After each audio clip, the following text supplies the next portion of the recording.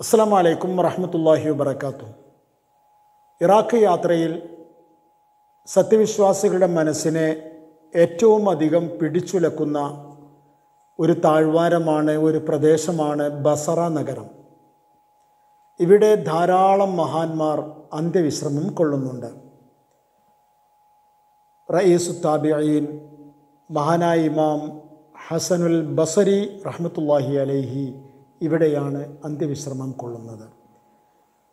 Umm Salama ബീവി റലിയല്ലാഹു അൻഹായുടെ പരിചാരകയായിരുന്ന ഹൈറ എന്ന സഹോദരിയുടെ മകനായിരുന്നു ഹസനുൽ ബസരി. അദ്ദേഹത്തിന്റെ പ്രത്യേകത ഹൈറ എന്ന ഉമ്മ സ്ഥലത്തില്ലാതെ വരുമ്പോൾ മുലപ്പാലിന് വേണ്ടി കരയുന്ന ഹസൻ എന്ന കുഞ്ഞിനെ മാറോട് ചേർത്ത് മുലയൂട്ടിയിരുന്നത് നബിയുടെ പ്രിയപ്പെട്ട പത്നി ഉമ്മു സലമ റളിയല്ലാഹു അണ്ണയായിരുന്നു എന്നാണ്.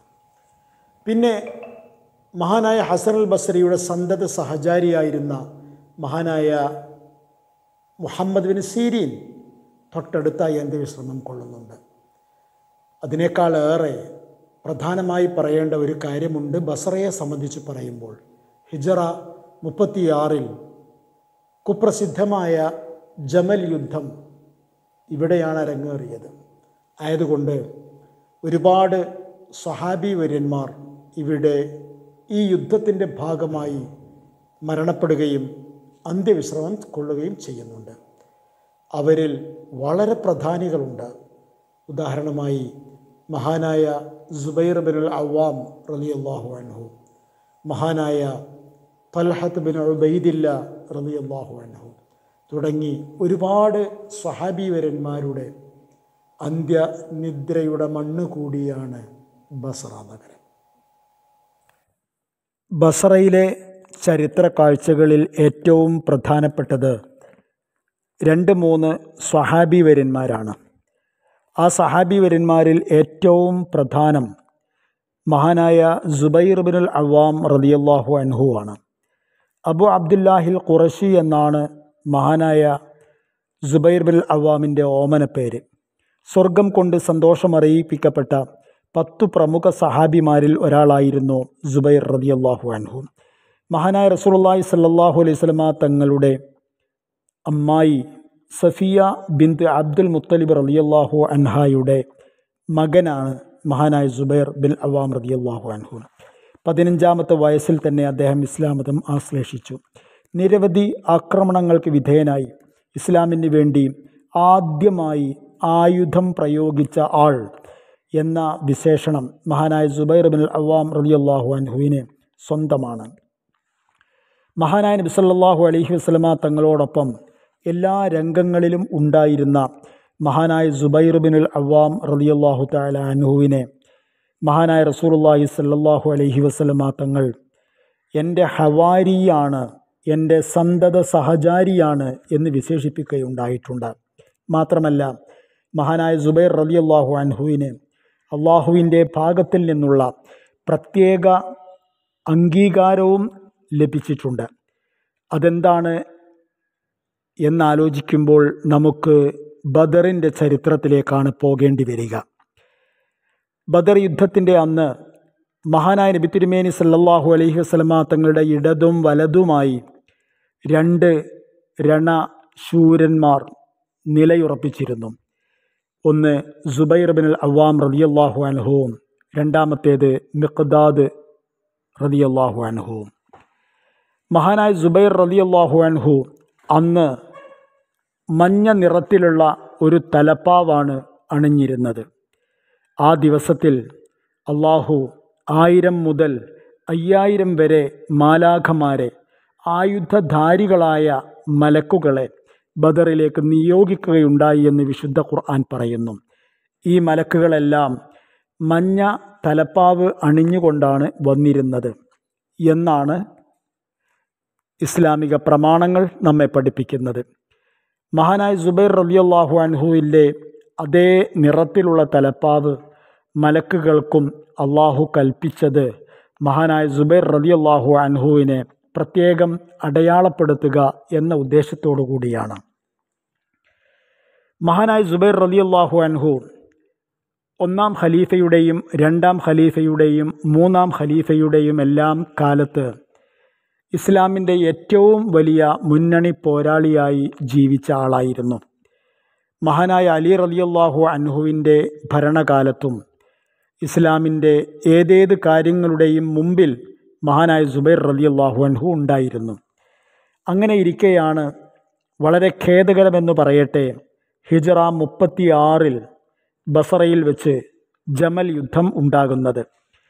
ഹുസൈൻ റലി മഹാനായ ഉസ്മാൻ റലിയല്ലാഹു അൻഹുവിന്റെ ഘാതകരെ മാതൃകാപരമായി മതപരമായി ശിക്ഷിക്കണം എന്ന ആവശ്യം ഉന്നയിക്കാൻ വേണ്ടി ബസറയിലെത്തിയതായിരുന്നു മഹാനായ ജുബൈർ റലിയല്ലാഹു അൻഹും മഹാനായ ത്വൽഹത്ത് റലിയല്ലാഹു അൻഹും മഹദി ആയിഷ റലിയല്ലാഹു അൻഹയും പക്ഷേ അവരുടെ സംസാരങ്ങൾ നടക്കുന്നതിനിടയിൽ ഏതോ കുബുദ്ധികൾ രണ്ട് ഭാഗത്തുമോ അല്ലെങ്കിൽ രണ്ടാലൊരു ഭാഗത്തോ വന്നു ചേരുകയും തന്ത്രപരമായി യുദ്ധം ആരംഭിക്കുകയും ചെയ്യുകയായിരുന്നു.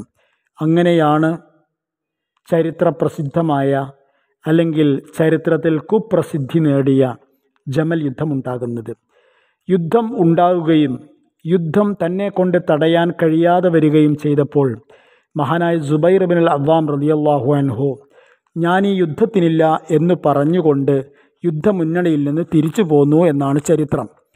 വഴിയിൽ ഒരു സ്ഥലത്ത് ബഹുമാനപ്പെട്ടവർ വിശ്രമിക്കുകയോ നിസ്കരിക്കുകയോ ചെയ്യുന്നതിനിടയിലാണ് അമ്രുബിനു ജർമൂസ് എന്ന് പറയുന്ന ഒരാൾ വന്നുകൊണ്ട് മഹാനായ ജുബൈർ അള്ളാഹു അൻഹുവിനെ വെട്ടിക്കൊന്നത്.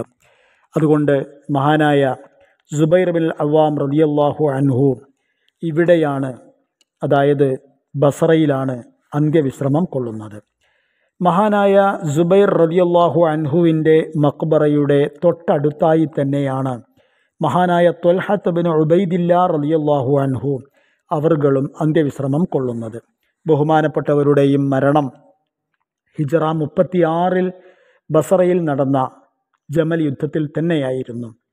മഹാനായ റസൂലുള്ളാഹി സല്ലാഹു അലൈഹി വസല്ലമ തങ്ങൾ സ്വർഗം കൊണ്ട് സുവിശേഷം അറിയിച്ചിട്ടുള്ള പത്തു സഹാബി വരന്മാരിൽ ഒരാളായിരുന്നു മഹാനായ ത്വൽഹത്ത് ബിൻ ഉബൈദില്ല റളിയല്ലാഹു അൻഹു. ബദറടക്കം എല്ലാ യുദ്ധങ്ങളിലും മഹാനവറുകളുടെ വലിയ സാന്നിധ്യമുണ്ടായിരുന്നു. മഹാനായ നബി തിരുമേനി സല്ലല്ലാഹു അലൈഹി വസ്ലമ തങ്ങളുടെ ജീവിതം ഏറ്റവും അധികം വലിയ ഭീഷണിയെ നേരിട്ട ഉഹദ് യുദ്ധത്തിൽ മഹാനായ ത്വൽഹത്ത് റളിയല്ലാഹു അൻഹു ആയിരുന്നു. സ്വന്തം ശരീരം പരിചയാക്കി മഹാനായ നബി തിരുമേനി സല്ലാ അലൈഹി വസല്ലമ തങ്ങളുടെ ജീവൻ രക്ഷപ്പെടുത്തിയത്. അങ്ങനെ ഇസ്ലാമിൽ മഹാനായ നബിയുടെ കാലഘട്ടത്തിൽ കാലഘട്ടത്തിലുണ്ടായ എല്ലാ മുന്നേറ്റങ്ങളിലും മഹാനായ തൊൽഹത്ത് ബിൻ ഉബൈദില്ല റളിയല്ലാഹു അൻഹു ഉണ്ടായിരുന്നു. മഹാനവറുകളെ ചൂണ്ടിക്കാണിച്ചുകൊണ്ട് നടന്നു പോകുന്ന രക്തസാക്ഷി എന്ന് നബി സല്ലാഹു അലൈഹി വസല്ലമ തങ്ങൾ പറയുകയുണ്ടായി. ഹിജറ മുപ്പത്തിയാറാം വർഷം ജമൽ യുദ്ധത്തിൽ തന്നെയായിരുന്നു മഹാനവറുകൾ വധിക്കപ്പെട്ടത്. ബഹുമാനപ്പെട്ടവർ മഹാനായ സുബൈർ ബിൻ അവ്വാം റതിയല്ലാഹു അൻഹുവിന്റെ അടുത്തു തന്നെയാണ് ബസറ നഗരത്തിൽ അന്ത്യവിശ്രമം കൊള്ളുന്നത്. ജമൽ യുദ്ധത്തിൽ രണ്ട് ഭാഗത്തുമായി കൊല്ലപ്പെട്ടവരധികവും സഹാബിമാരോ അല്ലെങ്കിൽ താബിഴുകളോ ആയിരുന്നു. താബിഴുകളേക്കാൾ അധികം സഹാബിമാരായിരുന്നു ജമൽ യുദ്ധത്തിൽ പങ്കെടുത്തതും കൊല്ലപ്പെട്ടതും. ആയതുകൊണ്ട് മഹാനായ സുബൈർ റതിയല്ലാഹു അൻഹു മഹാനായ തൊൽഹത്ത് റളിയല്ലാഹു അൻഹു തുടങ്ങിയവരെല്ലാം അന്ത്യവിശ്രമം കൊള്ളുന്ന ഈ ഇതേ സ്ഥലത്ത് തന്നെ ധാരാളം സഹാബിമാരും ധാരാളം ഔലിയാക്കളും മറവിട്ട് കിടക്കുന്നുണ്ട്. അവരുടെ എല്ലാം ഖബറുകൾ അല്ലെങ്കിൽ അവരുടെ അധിക പേരുടെയും ഖബറുകൾ പ്രത്യേക കുബ്ബകളാൽ അടയാളപ്പെടുത്തപ്പെടുകയും ചെയ്തിട്ടുണ്ട്. ബസറയിലെ ഏറ്റവും പ്രധാനപ്പെട്ട ഒരു സന്ദർശന കേന്ദ്രമാണ് മഹാനായ ഇമാം ഹസനുൽ ബസരി റഹ്മത്തുല്ലാഹി അലൈഹിയുടെ ഖബർ. മഹാനവറുകൾ താബിഅകളിൽ ഒന്നാമൻ മഹാനവറുകളാണോ അല്ല ഉവൈസുൽ ഖർണി റഹ്മത്തുല്ലാഹി അലഹി ആണോ? ഇതാണ് അഭിപ്രായം.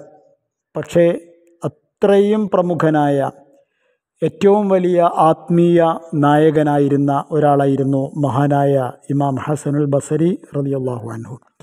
Abu Sayyid Hasan Binu Abul Hasan Yasarul Basri എന്നായിരുന്നു മഹാനവറുകളുടെ മുഴുവൻ പേര്. താബികളിലെ പ്രഗത്ഭ പണ്ഡിതനായ മഹാൻ വിജ്ഞാനം സൂക്ഷ്മത ഇബാദത്ത് എന്നിവയിലെല്ലാം അഗ്രഗണ്യനായിരുന്നു. സെയ്ദ് ബിൻ സാബിത്ത് റളിയല്ലാഹു അൻഹുവിന്റെ അടിമയായിരുന്നു ഇദ്ദേഹത്തിന്റെ പിതാവ്. ഇദ്ദേഹത്തിന്റെ മാതാവ് ഹൈറ എന്നവരായിരുന്നു. ഈ ഹൈറ എന്നവർ ഉമ്മു സലമ റളിയല്ലാഹു അൻഹായുടെ ഒരു അടിമ സ്ത്രീയായിരുന്നു. ഇവിടെയാണ് മഹാനായ ഹസനുൽ ബസരി റഹ്മത്തുല്ലാഹി അലൈഹിയിലേക്ക് നന്മയുടെ വഴികൾ വന്നു ചേരുന്ന കൗതുകം നാം കാണുന്നത്. അതായത് മഹാനായ നബി തിരുമേനി സല്ലാ അലൈഹി വസല്ലമ തങ്ങളുടെ പ്രിയ പത്നി ഉമ്മു സലമ റളിയല്ലാഹു അൻഹായുടെ വീട്ടിലെ പരിചാരകയും ഭൃത്യയുമായിരുന്നു ഹൈറ ആ ഹൈറയുടെ കുട്ടിയാണ് മകനാണ് ഹസനുൽ ബസരി. ഹൈറ എന്തെങ്കിലും ആവശ്യങ്ങൾക്ക് വേണ്ടി പുറത്തേക്ക് പോയാൽ കുട്ടി പാൽ കിട്ടാൻ വേണ്ടി കരഞ്ഞു തുടങ്ങുമ്പോൾ മാതാവ് വരുന്നത് വരെ കുട്ടിക്ക് മുല കൊടുത്തിരുന്നത് ഉമ്മുൽ മുഅ്മിനീൻ ഉമ്മു സലമാർ റളിയല്ലാഹു അൻഹയാണ്. മുലപ്പാൽ ഉണ്ടാകുന്ന പ്രായമായിരുന്നില്ല ഉമ്മു സലമാർ റളിയല്ലാഹു അൻഹാക്ക്. അപ്പോൾ പക്ഷേ എന്നിട്ടും ഹസൻ അൽ ബസരി തങ്ങൾക്ക് ആ മുലയിൽ നിന്ന് മുലപ്പാൽ ലഭിച്ചിരുന്നു എന്നാണ് ചരിത്രങ്ങൾ പറയുന്നത്. അങ്ങനെ പറഞ്ഞാൽ കറാമത്തിന്റെ അത്ഭുത മുലപ്പാൽ കുടിക്കാനുള്ള ഭാഗ്യം അതും വിശ്വാസികളുടെ മാതാവിന്റെ മുലപ്പാട് കുടിക്കാനുള്ള ഭാഗ്യം ലഭിച്ച മഹാനുഭവനാണ് മഹാനായ ഹസനുൽ ബസരി റഹ്മത്തുല്ലാഹി അലൈഹി. ഉമ്മുൽ മോമിനീൻ ഉമ്മു സലമ റളിയല്ലാഹു അൻഹായുടെ വസതിയിൽ ഹിജറ ഇരുപത്തി ഒന്നിലാണ് ഹസനുൽ ബസരി തങ്ങൾ ജനിക്കുന്നത്. ഹിജറ ഇരുപത്തി ഒന്നിൽ ഉമർ റളിയല്ലാഹുവിന്റെ ഖിലാഫത്ത് കാലത്തായിരുന്നു ആ ജനനം. ആയതുകൊണ്ട് തന്നെ ഉമർ റളിയല്ലാഹു അൻഹു വരികയും അദ്ദേഹത്തിന് മധുരം നൽകുകയും എല്ലാം ചെയ്തിട്ടുണ്ട്. മഹാനായ ഉസ്മാൻ റതിയുള്ളാഹുവിന് വധിക്കപ്പെടുമ്പോൾ ഹസൻ ബസരി തങ്ങളുടെ പ്രായം പതിനാല് വയസ്സായിരുന്നു എന്നാണ് ചരിത്രം പറയുന്നത്. പിന്നീട് യൗവനത്തിലേക്ക് കാലൂന്നിയ മഹാനായ ഹസനുൽ ബസരി തങ്ങൾ മുആവിയ റളിയല്ലാഹു അൻഹുവിന്റെ ഭരണകാലത്ത് ഒരുപാട് യുദ്ധങ്ങളിലും മറ്റും പങ്കെടുത്തിട്ടുണ്ട്. മാത്രമല്ല ചെറുപ്പത്തിലെ ജ്ഞാനിയായിരുന്നു. ആയതുകൊണ്ട് പലപ്പോഴും വൈജ്ഞാനികമായ സേവനങ്ങൾക്കാണ് മഹാനവറുകൾ പലപ്പോഴും മുന്നിൽ വരുമായിരുന്നത്. ഹിജറ മുപ്പത്തിയാറിൽ അലി റബിയുല്ലാഹുവിന്റെ ഭരണത്തിന് കീഴിലായി ഉസ്മാൻ ബിൻ ഹുനൈഫ് ബസറയിലെ ഗവർണറായിരുന്ന കാലത്താണ് യസാറുൽ ബസറിയും കുടുംബവും ബസറയിലെത്തിച്ചേരുന്നത് എന്നാണ് ചരിത്രം. യസാറിന്റെ പിതാക്കന്മാരും കുടുംബവും അവരുടെ നാടും ദേശവുമെല്ലാം പിന്നീട് ബസറയായി മാറി. പതിനാല് വയസ്സ് വരെ മദീനയിലും ബാക്കി ജീവിതകാലം മുഴുവൻ ബസറയിലുമായിട്ടായിരുന്നു മഹാനായ ഹസൻ ബസരി തങ്ങളുടെ ജീവിതമെന്ന് പറയുന്നത്. ആ കാലഘട്ടത്തിൽ ജീവിച്ച എല്ലാ പണ്ഡിതന്മാരും എല്ലാ ഖലീഫമാരും എല്ലാ ഉമറാക്കളും ഉലമാക്കളും ഒരേപോലെ ശ്ലാഘിച്ചിട്ടുള്ള ഒരു മഹത്തായ ജീവിതത്തിന്റെ ഉടമയാണ് മഹാനായ ഹസൻ ബസരി തങ്ങൾ.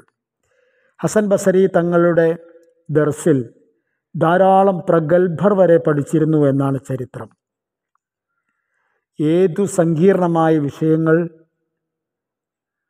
അന്വേഷിക്കുന്നവരും എത്തിച്ചേരുക ഇമാം ഹസനുൽ ബസരിയുടെ സദസ്സിലായിരുന്നു എന്നാണ്. അവിടെയാണ് മുഴത്തസിലത്ത് എന്ന വാദമുണ്ടാകുന്നത്. വാസിൽ ബിൻ അത്താ എന്ന് പറയുന്ന ഒരു ശിഷ്യൻ ഹസനുൽ ബസ്രിയുടെ സദസ്സിലുണ്ടായിരുന്നു.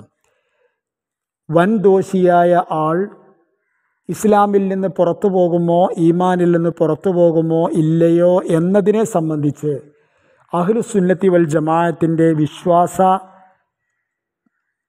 ധാരണകൾ അതിനെ ചോദ്യം ചെയ്ത ആളായിരുന്നു വാസിൽ ബിൻ അത്താ. അതിന്റെ പേരിൽ തന്നെ ഹസൻ അൽ ബസരി റഹ്മത്തുല്ലാഹി അലഹിയുടെ സദസ്സിൽ നിന്ന് വിട പറഞ്ഞു പോയ ആളാണ് വാസിൽ ബിൻ അത്താ. ആയതുകൊണ്ട് നമ്മിൽ നിന്ന് വിട്ടുപോയവർ എന്ന അർത്ഥത്തിൽ വാസിലിനെയും അയാളുടെ അനുയായികളെയും മോഴ്ത്തസിലികൾ എന്നാണ് പറയാറുള്ളത്. ഹസൽ ബസരി റതിയല്ലാഹു അൻഹുവിന്റെ കാലഘട്ടത്തിലെ ഭരണാധികാരികൾ മഹാനവറുകളെ പല സന്നിഗ്ധ ഘട്ടങ്ങളിലും വന്ന് കാണുമായിരുന്നു. അദ്ദേഹത്തിന്റെ ഉപദേശങ്ങൾ തേടുമായിരുന്നു. മഹാന്മാരായ പണ്ഡിതന്മാർ ഒരുപാട് ഒരുപാട് പ്രത്യേകമായ സംഭവങ്ങൾ അത്ഭുത സംഭവങ്ങൾ മഹാനവറുകളുടെ ജീവിതത്തിൽ ഓർക്കുന്നുണ്ട്. മഹാനായ ഹസൻ ബസരി റഹ്മത്തുല്ലാഹി അലൈഹി വഫാത്താകുന്നത് ഹിജറ നൂറ്റി പത്തിലാണ് റജബ് മാസത്തിൽ ആദ്യത്തിലാണ് എന്നാണ്. മഹാനായ ഹസൻ റലിയല്ലാഹു അൻഹു വ്യാഴാഴ്ച വൈകുന്നേരമാണ് വഫാത്തായത് എന്നും വെള്ളിയാഴ്ച ജുമാക്ക് ശേഷമാണ് ജനങ്ങളുടെ മയ്യത്ത് നമസ്കാരം അവസാനിച്ച് മറമാടാൻ കഴിഞ്ഞത് എന്നും അത് കഴിഞ്ഞ് ജനങ്ങളെല്ലാം ജനാസയെ പിന്തുടർന്ന് പോയതിനാൽ അസർ നമസ്കാരത്തിന് ബസറയിലെ പള്ളിയിൽ ജമാഅത്തിന് ആരുമുണ്ടായിരുന്നില്ല എന്നുവരെ മഹാന്മാരായ ആൾക്കാർ പ്രത്യേകിച്ചും ഹുമൈദു തൊവീൽ റഹ്മത്തുല്ലാഹി അലയെ പോലുള്ള കാലഘട്ടത്തിലെ ചരിത്രകാരന്മാർ ഉദ്ധരിക്കുന്നുണ്ട്. മഹാനായ ഹസനുൽ ബസരി തങ്ങളുടെ ഖബറിന്റെ ചാരത്ത് തന്നെ ജീവിതത്തിൽ ആ ജീവിതത്തിന്റെ ചാരത്ത് ജീവിച്ച മഹാനായ ഇമാം മുഹമ്മദ് ബിൻ സീരീൻ റഹ്മത്തുല്ലാഹി അലഹി അന്ത്യവിശ്രമം കൊള്ളുന്നുണ്ട്. രണ്ട് പേരും ഒരേപോലെ ആധ്യാത്മിക രംഗത്തെ നക്ഷത്രങ്ങളായിരുന്നു. പക്ഷേ രണ്ട് പേരുടെയും ശൈലി രണ്ട് തരത്തിലുള്ളതായിരുന്നു. തീവ്രമായ ആത്മീയ ചിന്തകളായിരുന്നു ഹസനുൽ ബസരിയുടേത് എങ്കിൽ മഹാനായ മുഹമ്മദ് ബിൻ സീരീൻ റഹ്മത്തുല്ലാഹി അലഹിയുടേത്. ഒന്നുകൂടി ജനങ്ങളെ ചിന്തിപ്പിക്കാൻ കഴിയുന്ന ഹിക്മത്തുകളായിരുന്നു എന്നാണ്. മാത്രമല്ല ലോകത്തെ സ്വപ്ന വ്യാഖ്യാതാക്കളുടെ നേതാവും ഇമാവുമായി കൊണ്ടറിയപ്പെടുന്ന ആളാണ് മഹാനായ മുഹമ്മദ് ബിനു സീരീൻ റഹ്മത്തുല്ലാഹി അലൈഹി. ബസറയിൽ മഹാനായ ഹസനുൽ ബസരി തങ്ങളെ സന്ദർശിക്കുമ്പോൾ ഒപ്പം നമുക്ക് സന്ദർശിക്കാവുന്ന അതേ കെട്ടിലുള്ള മറ്റേ ഖബറാണ് മഹാനായ മുഹമ്മദ് ബിൻ സീരീൻ റഹ്മത്തുല്ലാഹി അലൈഹിയുടേത്. റളിയല്ലാഹു അൻഹും വറലു അൻഹു വനഫാന ബിഹിം അജ്മഈൻ ആമീൻ. യാ റബ്ബൽ ആലമീൻ.